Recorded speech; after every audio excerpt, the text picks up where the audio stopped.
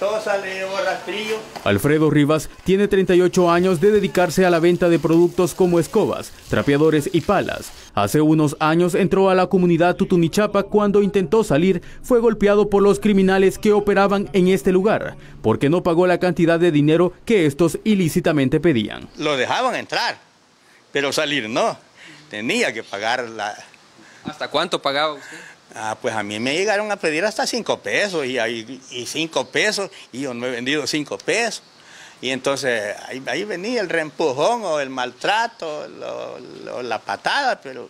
Él asegura que gracias a las estrategias de seguridad que ejecuta el gobierno, hoy puede entrar a cualquier lugar, porque ahora los criminales están tras las rejas. Porque allá en mi colonia, allá hasta fiestas están haciendo ahora los fines de semana y uno sea viejito, pero va, que sea a oír.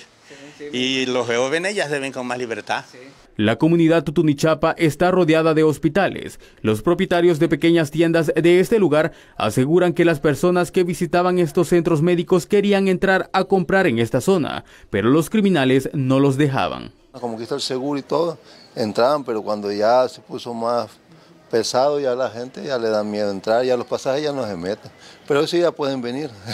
La población que reside en la comunidad Tutunichapa está agradecida con el presidente Nayib Bukele, porque ahora puede vivir tranquilamente sin tener criminales de vecinos. Porque estamos cuidados de todo.